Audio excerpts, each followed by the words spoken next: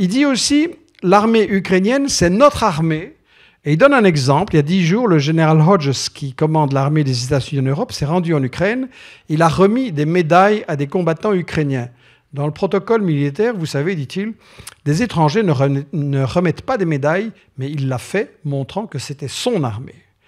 Et dernière pensée, le but n'est pas que l'Ukraine gagne la guerre, mais de faire mal à la Russie. Donc voilà tout ce qui est annoncé en 2015.